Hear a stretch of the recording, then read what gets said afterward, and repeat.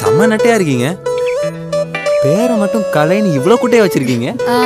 அது அவங்க அப்பா கிட்ட கேட்டு சொல்றேன். நீ வாடி. ஃபுல் ஆன் சினிமா நேயர்களுக்கு வணக்கம். நான் பிரம்மாஜி தேவ். சுண்டாட்டம் படத்தோட இயக்குனர் பேசுகிறேன் கணக்கான காலங்களில் இருக்க அதே டீம் நீங்கள் தான் அந்த ஸ்கிரிப்ட் பண்ணீங்கன்னு சொன்னாங்க. அதே டீம் தான் இப்போ பண்ணியிருக்காங்க. அவங்களோட ஆக்டிங் ஸ்கில்ஸ் இந்த படத்தில் எவ்வளோ இம்ப்ரவைஸ் ஆயிருக்கு? அதில் வந்து எல்லாமே ஸ்டூடெண்ட்ஸ் தான். அதில் வந்து ஒரு ப்ளஸ் டூ படிக்கிற பசங்க மாதிரி தான் நாங்கள் ப அந்த சீரியலில் காட்டியிருப்போம். இதில் வந்து அவங்கெல்லாம் முழுக்க முழுக்க வந்து நார்த் சென்னை பசங்க. இர்ஃபான்லாம் வந்து காலேஜ் முடிச்சுட்டு வேலைக்காக தேடிட்டு இருக்க ஒரு பையனாக நான் காட்டியிருவோம் ஸோ அதே மாதிரி மது அதில் வந்து ஒரு ரொம்ப அப்பாவியான ஒரு இளைஞனாக நடிச்சிருப்பான். ஒரு ப்ளஸ் டூவில் ரொம்ப ஏழ்மையான குடும்பத்துலேருந்து வந்தவன். இதில் அப்படி கிடையாது. அவன் ஒரு ட்ரக் அடிக்ட் அவன். ஒரு நல்ல ப்ளே பிளேயர் பட் அவனுக்கு வந்து இன்னொருத்தன் அவனுக்கு காம்படிட்டிவாக ஒருத்தன் வந்துட்டான்னு தெரிஞ்சவொடனே அவனுடைய ஆக்டிவிட்டிஸ் எல்லாமே ரொம்ப மாறும். வியர்டாக ஆகிடுவான் உண்மை பயங்கரமாக வந்து கஞ்சா எடுத்துப்பான். ஊசி போட்டுப்பான். ஒரு மாதிரி அவன் வந்து அவனுக்கு வந்து இந்த போட்டின்ற விஷயம் வந்து அவனை ரொம்ப டிஸ்டர்ப் பண்ணிடும். ஏன்னா அவன் அந்த கிளப்பில் வந்து ஒரு பெரிய நல்ல பொசிஷனில் இருப்பான். இர்ஃபானோட என்ட்ரி வந்து அவனை வந்து கீழே தள்ளிடும். ஸோ அதுக்கு வந்து அவனுக்கு வந்து அதில் பார்த்தீங்கன்னா அந்த சேஞ்ச் தெரியும் அவங்களுக்கு. யாருமே அந்த ஸ்டூடெண்ட் லுக்கில் இருக்க மாட்டாங்க. அதேமாதிரி ஸ்டாலின். ஸ்டாலின் வந்து அந்த ஆடுகளம் நரேன் அந்த அவருடைய வந்து இந்த படத்தில் நார்த் மெட்ராஸ் தாதாவை பண்ணியிருக்காரு. அவருடைய ரைட் ஹேண்டாக அவன் பண்ணியிருப்பான். ஸோ அந்த மூணு பேருமே மூணு மாறுபட்ட கேரக்டர்ஸ் இர்ஃபான் வந்து ஒரு காலேஜ் ஸ்டூடெண்ட் அதில் பண்ணியிருப்பார் காலேஜ் பேக் ட்ராப் பார்த்தீங்கன்னா ஒரு கேரம் ஆடுற பையன். மதுவும் அதே தான் அதில் வந்து ஒரு பாவமான ஒரு ஒரு ஸ்கூல் பையன். இதில் வந்து வந்து ட்ரக் அடிக்ட்டு கம் ஒரு கேரம் பிளேயர் ரொம்ப ஒரு தீவிரமான ஒரு பிளேயர் அவன்.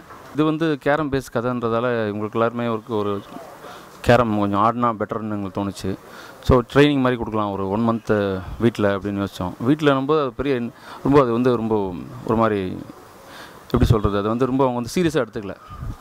டெய்லி ஒரு மணி நேரம் ஆடுவாங்க. ஆ இன்றைக்கி ஆட்டோம் சார். இன்றைக்கி ஆட்டோம் சார்னுவாங்க சரி அப்புறம் ஒரு நாள் ஆடி பார்த்தப்போ எங்களுக்கு தெரிஞ்சது இன்னும் இது சரியாக வராது. இவங்களுக்கு வந்து தீவிரமாக ஒரு பயிற்சி கொடுக்கணும்னு நினச்சி சிந்தாரிப்பேட்டில் ஒரு கேரம் பிளேயர் இருக்கார். அவர் வந்து இன்டர்நேஷ்னல் பிளேயர் முனுசாமின்னு பேர். அவருக்கு சொந்தமாக மூணு நாலு கிளப் இருக்குது அந்த கிளப்பில் கொண்டு போய் அவங்கள வந்து ட்ரைனிங் கொடுத்தா நல்லா இருக்கும்னு தோணுச்சு. பட் ட்ரைனிங்னு போனால் ரொம்ப ஃபார்மல் ஆகிடும் டெய்லி போயிட்டு அவங்களுக்கு பயங்கர மதிப்பு கொடுக்க ஆரம்பிச்சிருவாங்க. சார் இப்படி தான் ஆனும் அப்படி ஆடணும் சார் போட்டு பேசுவாங்க. நீங்களாம் ஸ்ட்ரைட்டாக போங்க. கேரம் கற்றுக்கணும் ஆசையாக இருக்குன்னு சொல்லுங்கள் அவங்களாம் என்ன பண்ணுறான்னு பார்த்துக்கலாம்னு சொல்லிட்டு அனுப்பிச்சோம். இவங்களாம் வந்து ஹீரோ இந்த படத்தில் நடிக்க போகிற கேரக்டர்னு சொல்லாமல் சும்மா ஒரு அந்த ஏரியா பசங்க மாதிரி போய் நின்று ஃபஸ்ட்டு வாட்ச் பண்ணாங்க. அப்புறம் அவங்களுக்கு வந்து கொஞ்சம் கொஞ்சமாக வந்து அந்த டீமோட வந்து லிங்க் கிடச்சி அவங்க வந்து ஒரு ஆறு மாதம் ட்ரைனிங் இப்போ பார்த்தீங்கன்னா படத்தில் உங்களுக்கு தெரியும் அவங்க எங்கேயுமே நாங்கள் வந்து ஒரு பெரிய லென்த்தி ஷார்ட்ஸ்லாம் வச்சுருப்போம். அதில் எங்கேயுமே டூப் போடாமல் அவங்களே ஆடிருப்பாங்க சாங்ஸ்க்கு மியூசிக் பண்ணது பிரிட்டோ பட் பேக்ரவுண்டுக்கு வந்து அர்ஜுன் சுரேஷ் மியூசிக் டைரக்டர் பண்ணியிருக்காரு. ஒய் மியூசிக் டைரக்டர் ஓ, அது என்ன காரணம்னா பிரிட்டோ வந்து அறிமுகம் இந்த படத்தில். பாடல்கள்லாம் ரொம்ப சூப்பராக இருந்தது. எங்களுக்கு வந்து இன்னும் கொஞ்சம் வந்து ஒரு பழமையான இசை தேவைப்பட்டுச்சு. ஒரு தொண்ணூறுகள் தேவையான. அது இல்லாமல் இல்லாமல் பிரிட்டோவுக்கு வந்து இந்த படம் முடியும் போதே அவனுக்கு ரெண்டு மூணு படம் புக் ஆகிடுச்சு ஸோ டைம் வேறு எங்களுக்கு கிடைக்கல. நாங்களாம் வந்து கூடவே உட்காந்து கொஞ்சம் ஒர்க் பண்ணணும்னு நினச்சிட்டு இருந்தோம். ஸோ உன்னுடைய நேரம் ஒத்துழைக்கலை. ஸோ அப்போ எங்களுக்கு வந்து அப்புறம் நாங்கள் ஆக்சுவலாக பிட்டோ தான் பண்ணணும். அப்படின்னு முன்னாடி கேட்டுக்கிட்டோம். பட் பிட்டோவுக்கு டைம் ஒதுக்க முடியல. ஸோ அச்சு.